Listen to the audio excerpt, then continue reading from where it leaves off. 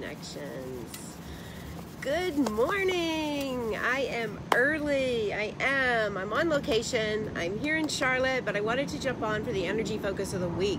How's everybody doing after that huge eclipse and full moon energy? How is everybody doing? Let me know how you're doing. Up, oh, plane. That's what happens when you're on location. You go with the flow. So, how's everybody doing? All right, very intense energy this week, very intense. We're still in that Aquarius full moon energy. We'll be coming into Pisces soon. Lots going on. And then, of course, the Mercury retrograde. And we're so close to Mars. Okay, what does all this mean? Come on in and join me. I'm only going to be on for a few minutes today. I'm going to pick the cards. I haven't even chosen them yet. I'm on location. I'm at a Biz Club retreat. Really intense, really intense work we're doing, planning, reviewing, renewing. And that's actually the focus of this week all right it's actually the focus of what we want to start doing and working with is renewing and reviewing our work slowing down really important to slow down and just to kind of finish up loose ends. It's a great time to clean up all right? We're halfway through the summer. Renew your summer. What's going on? What have you done? You know look at it and see and clean up your work. That's the best thing that you can do right now as we really open up to this week, all right? We're all coming out of that full moon energy. The moon was beautiful. Saw it up here in Charlotte. Maybe you saw it where you were too. And if you didn't, that pull of energy is still around for you as well, all right? So how can that help you this week? That's what we're going to look at. What can you do to best focus your energy to help you really move forward, all right? It's a hard week in terms of just really getting into that energy. All right, most of us want to keep going and going and going and going, but really right now, the universe and the cosmos is really offering us the opportunity to slow down, to review and renew our work, to really go back and refocus what it is you're doing. And that's what we're going to see, especially as we come out of it. All right, we'll move into a little Pisces energy this week, which gets us into that ability to go deeper within ourselves, the ability to really open up to your own intuitive ability. What are you thinking? What are you doing? What's on the inside? And that's a lot of the energy you're going to be feeling as you open up to this week. All right, what is going on inside? What is it that you need to shift? All right, we're coming to the end of July. Believe it or not, right? Time just keeps moving on. Hey, Allie, we're coming to the end of July, so it really is important that you can find a way, chill, slow down, review your work, really work with the cosmos instead of fighting it. And that's really what I'm noticing as we move into this week. All right, that Pisces energy is going to be easy to help us just kind of, I think, chill, Go into the intuitive aspects of who you are. Open up to that energy, all right? We're always so out there. Pull the energy in. That's going to be kind of a great way to really kind of get into that energy for you this week. All right?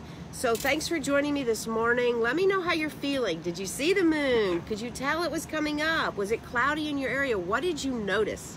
All right, we, we really charged up some great energy at the Reiki Circle.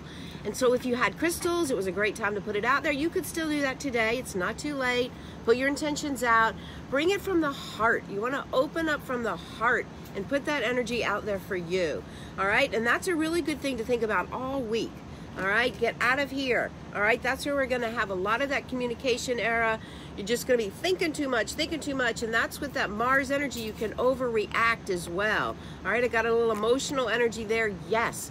All right, so what you can do for that emotional energy is release it out of the body. All right, one of the things I teach in my Empowered Spirit program is how do we release that out of the body? How do you notice when you've taken in too much energy that's not yours? That's the hardest part. When it's yours, you can kind of get into it. When you've taken in everybody else's, it's like, uh, whose energy is this? Why can't I get out of it? And that's what you want to release. So we use a little tool, the grounding tool, and we'll just work with that today in our meditation, all right, of really releasing that excess emotional energy. Energy follows intention. When you intend for it to release, it's going to help get out of your body. We're holding on to everybody else's body. We're holding on to, thanks, Brad. when we're holding on to everybody else's emotional energy, it becomes really hard for us to process our own. All right, so the meditation today, we're just going to take a few moments to center our energy so that you can understand this to help you move through the week. Because I think everybody's feeling that emotional energy, taking in the excess energy, taking in too much stuff. All right, so let's just take a moment and then we're going to look at the cards. I've got the wild unknown. Always love these cards. So if you can, just for a moment, take a deep inhale. Come on, Brad, join me. Take a deep inhale. And as you exhale, just exhale out all that excess energy. Whatever is not yours, let it go. And you don't even have to know what it is, just whatever it is. Take a deep inhale and bring up fresh prana, fresh chi from the universe. Bring it up. And as you exhale, send it back down. And maybe take a moment just say, whoever's energy it is, maybe you know, and send it out. Send it back to them. Release it out of your body. Inhaling and begin to feel yourself aligned. Call in your higher spirit. Call in that energy. Align the spiritual body with the physical body. Feel yourself grounding into Mother Earth. The best thing you can do all week is ground this energy just by this, just by this technique right here. Inhaling and as you exhale, pull the energy in. Pull in that higher guidance. Feel it right on top of the crown chakra, right up here. And exhale, send it all the way back down, deep into the earth. Feel that calming coming in. Inhaling. And exhale. And again, as you exhale, just feel it releasing off the body. Excess energy friends, colleagues, families, let it all go. All that excess energy, for me, it's all the energy I've taken in all weekend. Just let it go. All that excess energy. Emotional energy, let it go. Come back into the center and just take a moment and honor where you are in the universe right now. Here we are in the summer. Passions and fires and desires. Honor that full moon that came up last night. Honor the cosmos. We keep spinning and spinning, right? Honor that energy. It keeps us going. Just take a moment and feel that energy coming in for you, being very present. And we just take a moment, honor the south, the west, the north, and the east, above us, below us, right into the very center. Feel yourself calming, feel yourself centering down, opening up to your intentions for this week, still allowing that full moon energy to guide you as you go through. Bring in the awareness back, take a deep inhale, Feel yourself centering your energy. So that is a two minute exercise you can do all through this week to help you ground the energy and release yourself of that emotional energy. All right, I'm going to draw some cards. All right, first a universal card for all of us. Let's see what the wild unknown has to say. All right, it's the Six of Cups, which is all about emotional energy. All right, and this is all about connecting with the roots. Perfect card for right now. Connect down deep into the earth. Lots of times they talk about like go back to your family roots, go back to that emotional energy, which is in alignment with, you know, the retrograde energy. But I like to look at this card right now as as tall as you're standing, dig those deeps deep into the earth feel that connection that is going to help you ground that emotional energy all right just like we were doing beautiful card send it down imagine that emotional energy and maybe you know whose energy you've taken on all right, maybe it's a spouse, maybe it's a friend, and just intend, say, send back that energy back to the universe. Energy can't be destroyed. We're only going to transform it, right? So we want to transform it out of the body. So this is a beautiful card for all of us to remember all week. It's perfect alignment for what we were just saying. Ground your energy, send it deep into the earth, all right? Beautiful card for all of us, all right? All right, Cat Monster. Been following you too. Love that card too, right? Really good. All right, so if you picked card one, ways that you can help to do this. All right, the Father, the Father of Swords. All right, and it was reversed. All right, so the Father of Swords is one who's very sharp. All right, and it's sword, so it's of the mind. All right, so it's reversed. So don't get caught in the mind. We just said this. Don't allow yourself to get caught in the mind. All right, when you find yourself in chaos and all, remember oh, I have to get out of the mind because this is not a useful energy for us this week. Not at all. All right, I know we need our mind to think and all that stuff, but during this week of retrograde and all, really best not to get caught in the mind. Release that energy. All right, it's okay to be sharp, right? But we don't want to get caught into the churning of the mind, and that's kind of what that, that energy represents. All right, the second card is a healing card. It's a five of hearts, uh, five of um, pentacles but it is a little bit of a healing. So this is a great time to renew in yourself. What is it? What is that connection with the earth that you can heal a little bit more? See, it looks like a little blood dripping off the rose. All right. So go back to the earth. All right. And this is a grounding technique as well. Go back to the earth. What inside of you can you ground? All right, we can't manifest. We can't go forward when we're working with healing energy that's unresolved, working with anger, or working with things that get in our way. We really can't manifest because that's the vibration that takes over. All right, so where can you let go? And beautiful card for the retrograde energy. Where can you heal a little bit more? We all have healing that we may need to do.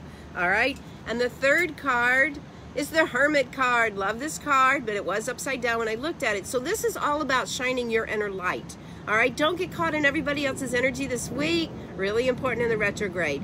Go within you. Hey, Patrick, good to see you. I know I'm early, right? Don't get caught in the, the crazy drama in the world. Pull in. Remember, you have your own light to shine, and this is a good time to renew that energy. What is your light? What is your radiance? That's what you want to shine, all right? And that's how we do that, especially during the retrograde. All right? So remember, when you get caught up in like the chaos, the confusion, the the overreacting, all right? All right, ground your energy. I know, Patrick, I got confused with my time zone. I'm in North Charlotte, North Carolina.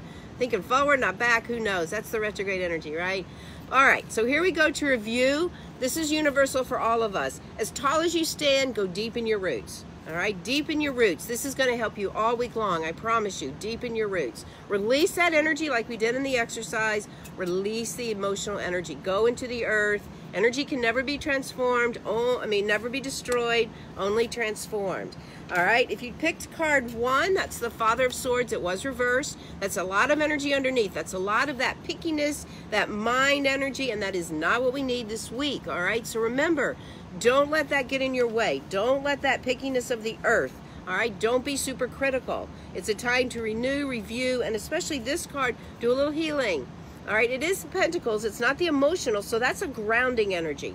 All right, so when you start to release some of that excess emotional energy or that excess healing that you need to do, sorry, then you can ground with Mother Earth again, all right? So one of the ways that I do this for me is like, all right, I had a little bit of anger that I've been working and clearing out. I need to clear this out so I can manifest. That's what Pentacles is about.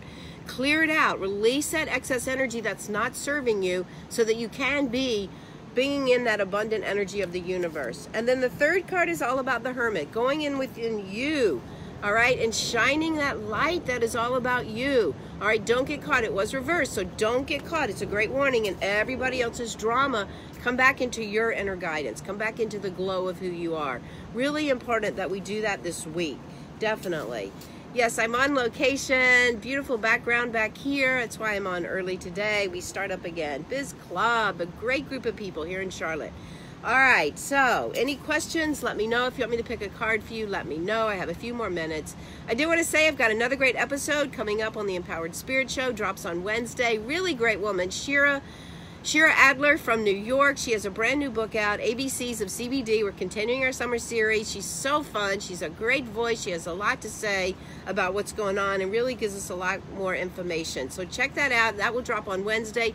Last week we got into a little bit more about the CBDs as well. Melissa Beasley talking about women entrepreneurs, also social anxiety and how the oils can help you to open up into new aspects of your life. So yeah, let me know. All right, Patrick, I will draw a card for you. Here we go. All right, we got the Empress card, but it was upside down. I've got a lot of reverse cards, which is perfect for the retrograde energy. All right, so if we looked at this card in its normal essence, this card is all about connecting to that feminine energy. All right, look at the glow around the tree. So be strong in your energy. It's a great time to really access that other side, that yin energy of who you are. All right? It's really important that align with the energy of that feminine part, the yin part of who you are. So that again, that masculine energy is what's going to get you in trouble, so to speak, this week because that reacting energy, that forward energy, the Mars energy reminds me of the Mars energy. You could see Mars last night in the sky. We could see Venus last night in the sky. So don't overreact. Calm down find the opposite of where you would normally be. Like think before you speak and really kind of come into what is that softer part? What is that more yin part? And be that because it can also be very strong, even though it may not be the outward appearance. Come into that part of who you are with that energy as well. Clean up your aura. I love it. Shine that part out from the inside out. Be strong in what it is that you do. Does that make sense, Daniel? I hope that makes sense. Hey, Cat Monster Australia. I've been loving following you as well. All right, so this is the Daughter of Wands. I love this card. This is all about that infinite potential. All right, sometimes in the retrograde, it kind of becomes hard to, um, it kind of becomes hard to think we can manifest, but this is still that you can tap into infinite potential. Look at the growth, look at that infinite potential. Wands is about passions and desires. So we're, you're in winter, we're in summer, but still you can look into that infinite potentials through your dreams.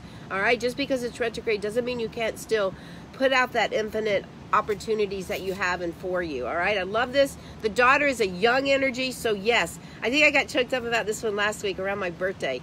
All right, this one is a great card to remind you of that innocence of life and that you can definitely bring in that infinite potential of who you are. All right. So yes, even though we do have retrograde energy, even though that energy is out there, you still can work to work with your dreams, to renew, review, redo, recycle.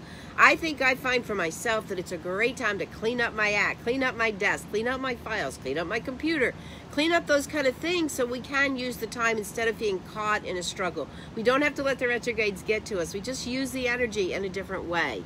All right, so all the cards today are really pointing to some extra healing, shining your own light, digging deep into the roots of the earth. Let Mother Earth support you in what you do. All right. And don't get caught in the pickiness of the mind. All right. Really resonates. Excellent. Don't get caught in that pickiness of the mind. We really don't want to. All right. I know I am on early. I've got a, a, a mastermind today that I'm in and we start early and I mess up the time zones. At any rate, hey Becca, at any rate, take this energy out into the world Remember to ground your energy. Tap into that. I love that card for Patrick. Tap into that feminine aspect of the Empress. The Empress knows. All right, you know, but you have to go inside to find it. All right, shine your light. Be strong. Slow down. Really slow down this week because yes, you're going to have difficulties. I was trying to hurry and get my computer on. My computer wouldn't start. That's another thing that could go wrong. It's like, all right, chill. Really chill. It's a great opportunity to enjoy the summer a little bit more, or in Australia there, the winter a little bit more before we all get so busy. I think the retrograde can help us do this. We go right into August with this energy. So go out there tonight. You still got the full moon. All right, then we start releasing. Set your intentions, charge those crystals. All right, let them help you as well. Be strong in your energy. Reach out if you need some help. All right, I have some availability in my Empowered Spirit program. Reach out if you need some help. You don't have to do this alone. Get the guidance you need, get the help that you need. So take a nice deep inhale as we go to close. And just take this energy out into the world. Be strong in who you are. Shine your light. Thank you again for joining me. Come on over and check out Howard Spirit Program. Get a free guide on how to set up your own spiritual practice on my website, terriannheiman.com. To your spirit, namaste.